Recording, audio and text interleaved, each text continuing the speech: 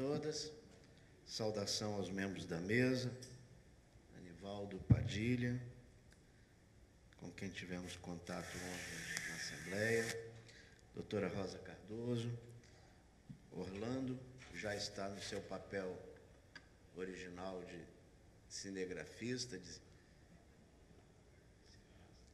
Orlando Bonfim, Rubinho Gomes, acho que está na função de jornalista por aí também, atuando.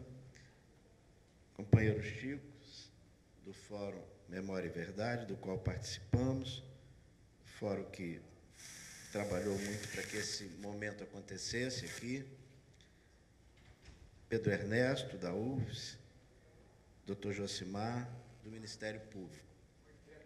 Do plenário, eu gostaria de saudar duas pessoas especialmente. O padre Valdir, que nesses anos todos tem ficado muito recolhido e que, felizmente, é, se dispôs a vir hoje aqui contar um pouco da história daquele período duro e a Igreja Católica, na qual fui formado como militante, inspirado por Dom João, Dom Luiz Gonzaga, Padre Valdir e outros. É, ele vai poder revelar aqui as, as faces daquele momento.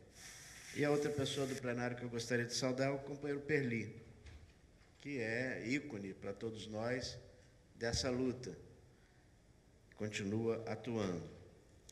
A Comissão da Verdade da Assembleia foi criada no seu interior, já que ela não tinha poder de iniciativa para criar a Comissão da Verdade Estadual, que depois foi criada pelo governo do Estado.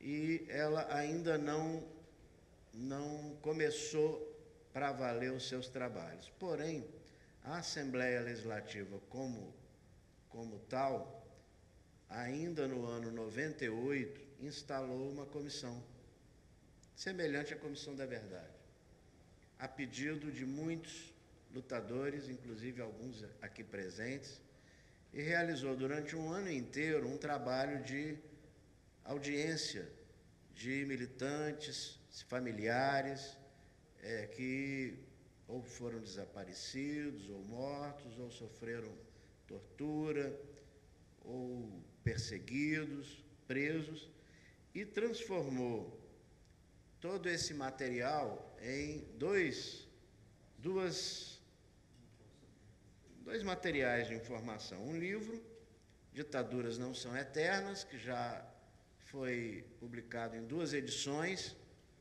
com boa parte de depoimentos e a contextualização do período, e também um CD, na época a gente chamava de CD-ROM, estava no começo, né? Estava muito no começo, 98, não faz tanto tempo assim, era CD-ROM, era uma coisa muito nova, né? E aqui tem a íntegra de depoimentos prestados é, àquela comissão da qual eu fui relator. E, por exemplo, o pai de Rubinho Gomes, doutor Rubens Gomes, fez depoimento naquela comissão e tantos outros que já não estão mais no nosso meio. Eram idosos, né? alguns com problemas é, de saúde, mas, felizmente, por inspiração deles, eles prestaram depoimentos, né? trouxeram documentos, é, trouxeram materiais e puderam registrar a sua participação na luta contra a ditadura, né? na luta pela democracia em nosso país. Então, mesmo que a atual Comissão da Verdade da Assembleia não tenha ainda engrenado, verificado melhor o seu papel neste momento, mas a Assembleia já fez a sua parte é, de maneira significativa e num momento em que esse tema ainda não era muito abordado no Brasil, né? o resgate da memória e da verdade. Era isso que a gente tenha um bom trabalho hoje e amanhã.